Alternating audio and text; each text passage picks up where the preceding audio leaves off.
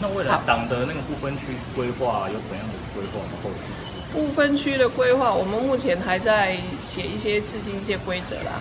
嗯，大概我们原则讲应该是这样，内政部的那个我们的台湾民众党已经核准给我们了，但是我们还有一些程序要做。哦，我们准备好要去那个法院公证之后，等于说我们正式挂牌开始运作以后，我们就会来讨好好的讨论不分区。所以这个部分可能今天还没有办法完整的回答你。你会接任秘书长吗？呃，应该不会，好像有人应征了。不，可以透露是哪一位吗？今天不方便。对，好。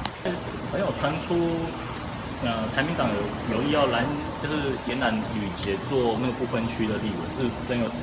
哦，这个昨天有人问过我，第一个我不知道，第二那个吕杰，我记我知道他是那个补教的名师嘛。哦，基本上他应该是一个人才，可是好，我们这边好像还没有这方面的讯息，没有联系上，所以目前不清楚。